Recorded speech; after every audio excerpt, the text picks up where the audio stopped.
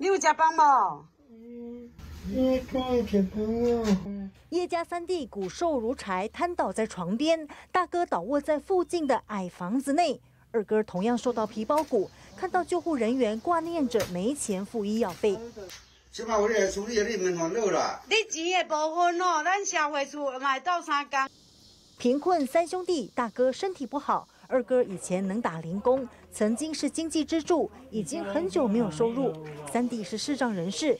领微薄补助度日。三三千七的，三千七，迄是迄个，迄个残障的，嘛毋是低收身障。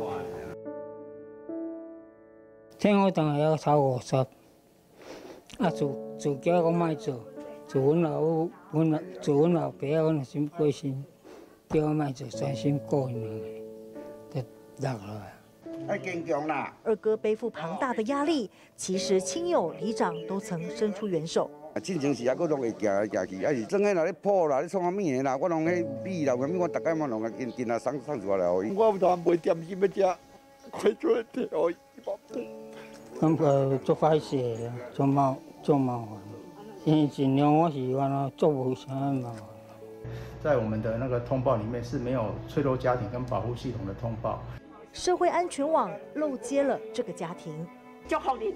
哈，啊！你要用啥？第一个就先付一个急难金，啊，加迄个物资，吼，先付当安尼伊生活安心。啊，过来长期咱就是个评估，要安怎来来用迄个长期的照顾。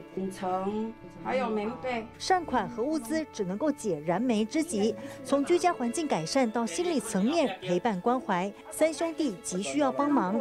除了公部门介入，慈济职工也将评估如何给予协助，让他们重新找回生活的希望。大爱新闻，为林杨俊婷彰化报道。